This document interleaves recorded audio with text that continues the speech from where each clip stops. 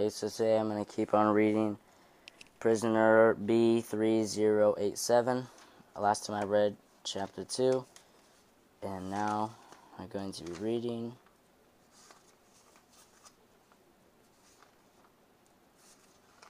chapter 3 on page 14. Okay, here we go.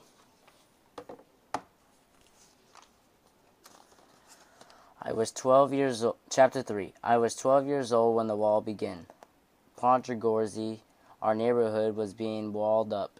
From Zgody Square to the Podgorze Market and down along Azadi Place. The Nazis were wailing us in, walling us in. I went out to see it. It was nearly three meters tall and made of brick. At the top, it had been had rounded caps like the tops of tombstones the wall stretched from one building corner to another, right across the street, cutting us off from the rest of Krakow. In the buildings that were part of the wall, they bricked up the windows and, wall- and doors so no one could escape. There were only three ways in a gate at Zgody Square, another at the market, and another in Luskoka Street.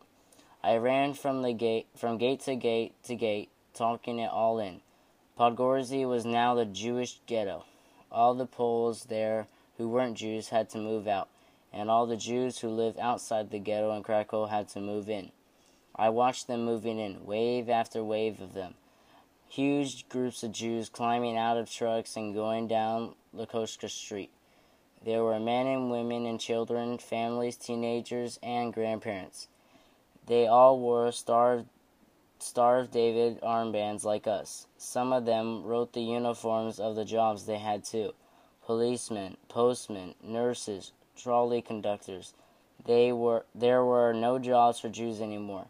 No jobs besides cleaning the toilets of German soldiers. My father and uncle had lost their shops, had their inventories seized by the Nazis, just as Uncle Moshe said they would. The new Jews carried their luggage with them everything they owned in the world, and they looked around with big worried eyes at the buildings and streets at their new home.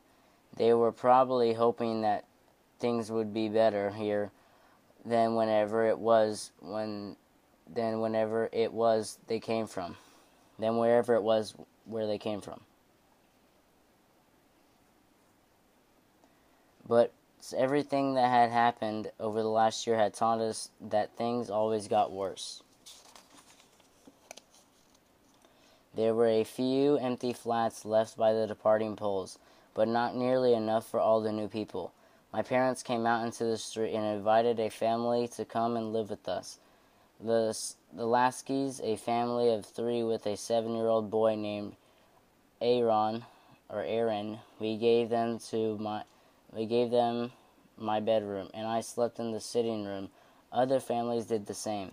Then, as the days went by and more and more, Jews poured into the ghetto, not just from Krakow now, but from villages and towns outside the city. We took in a second family, the Rosenblums, and a third, the Brotmans.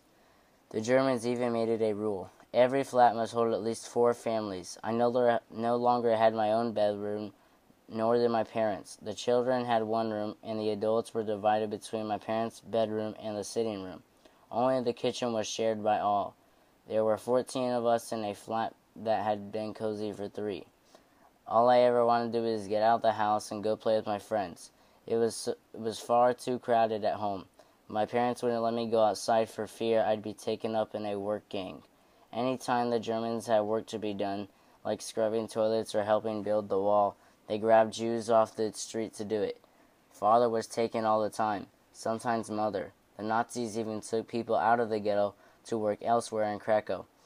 Sometimes they never returned. This will all be over by summer, my father told me.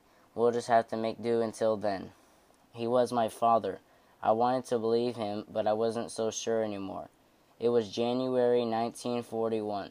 The Germans ruled Krakow. I was 12 years old, and for the first time in my life, I had begun to doubt my father. Okay, so if you want to hear more from Prisoner B3087, if you want to hear chapter 4, look for my next video.